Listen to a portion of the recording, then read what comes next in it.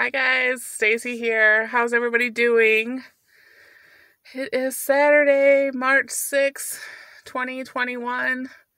I just got off work. Actually, I got off work, went to Walmart, kind of just you ever just like wander around Walmart? Like I like to like check out their clearance things. I got a couple things for like my grandkids for Easter.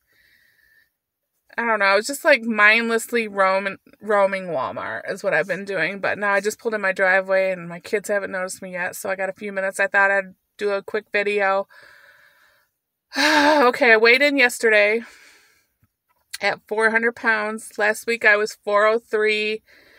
The week before that, it was three ninety nine. So I'm four hundred now. So I lost three pounds, but I'm still not down to my three ninety nine where I was, and that brings it to thirty three pounds. I think total this year. I'm pretty sure it's thirty three. So that's good. Um, I felt really good all week. Like um, mentally, my mood here in Michigan, it's like well today it's like what is it, forty two degrees, and it's sunny, and it just feels so good. Like I think we all just need this. Like I need the sunlight and the warmer weather. I mean 40 still cold, but like I have short sleeves on like it's summertime. Um but and then Friday when I weighed in, just had like a mood like just felt like fatter than ever and yucky. Just uh, you know, sometimes you feel like so good, and the next day you're like, "Oh, I'm hideous and I'm fat," and uh, I'm like, "You didn't change that much from yesterday than today." But so I'm feeling better. Um,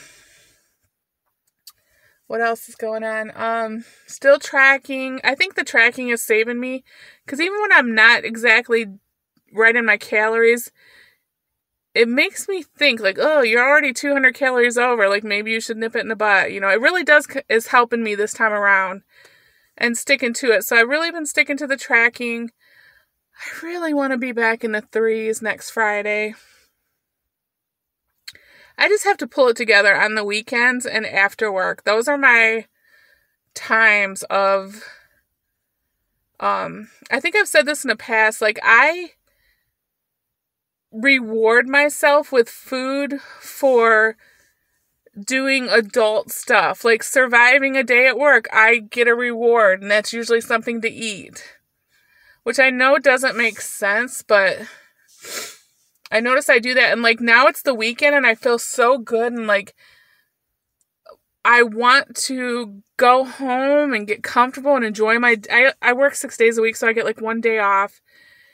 And I just, that always involves food. Like the feel good feeling for me is like, some good food at home and my day off. I want to play my Animal Crossing and just relax, you know, distress or whatever.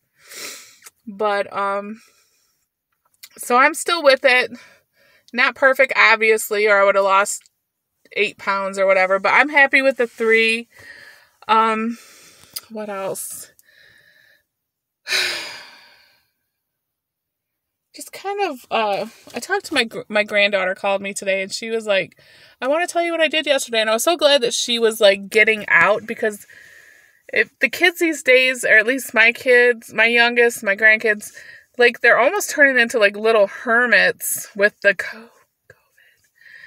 But um so I was glad to hear about her going out. And then it just broke my heart that she like obese my daughter my daughters struggle with their weight my grandkids struggle with their weight my husband struggled my mom struggled um so it's a family problem but so she struggles with her weight. She's 10 she's beautiful smart just and strong. She's so much stronger than I am. That's what I like admire about her when she's telling me this story. But she's telling me a story. She went out with friends last night. I was so glad she was out doing something social and fun. And then like a couple boys and a girl, you know, kind of came at her and called her like fatty and asked her if she was pregnant and just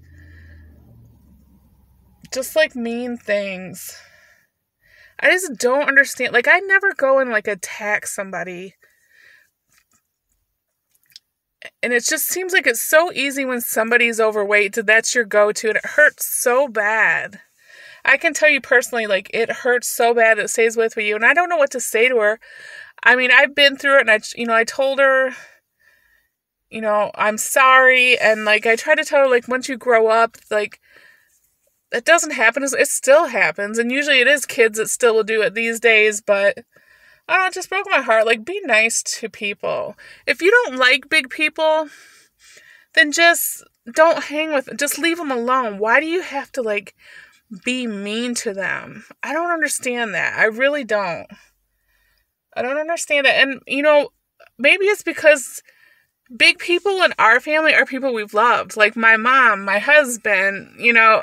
So big isn't like I don't know, I don't understand it. But um I'm planning to go in and enjoy my day off. Again, thank you everybody for watching and the supportive words. I know I haven't been on here commenting this week, but I'm going to. I do appreciate it. If you're not subscribed, please subscribe. I know we had a couple new ones this week. Shoot, we're going to get to 700 subscribers before we know it. But I appreciate everybody. So I'll talk to you guys later. Bye.